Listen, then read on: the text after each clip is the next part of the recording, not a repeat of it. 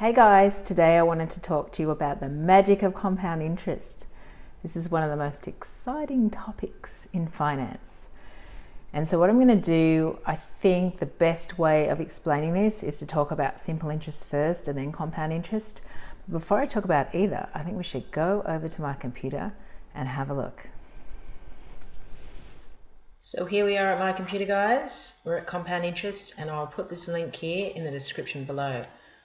The reason we came here is to show you how simple interest and compound interest works using a table and a graph.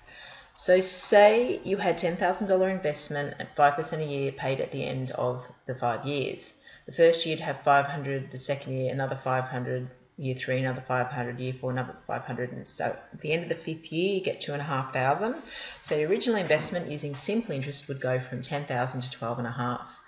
If you had interest compounded, you not only get the original 500, you also then get interest on that 500. So it goes to 512, 538, 565, 594, 625. So you end up $334 higher than you would have if you hadn't have had it compounded. And what happens is the longer it goes on, you can look at this graph too here, the longer it goes on, the even greater the effect exponentially of growth of your savings. And something even more wonderful here is if you push on here, there's a compound interest calculator. So you can work out, and this is this site, by the way, is an Australian um, government site, so you know you can trust it. And well, with all their disclaimers, of course. So what you can do is you can work out with an initial deposit and a regular deposit. So let's say your initial deposit of $400 and then you regularly deposit $100 after 10 years, that's how fast it would grow.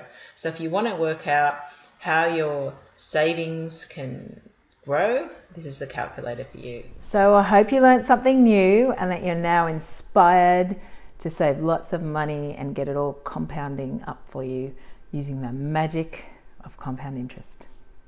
Bye. Please subscribe to my YouTube channel and also follow me on Instagram. Bye.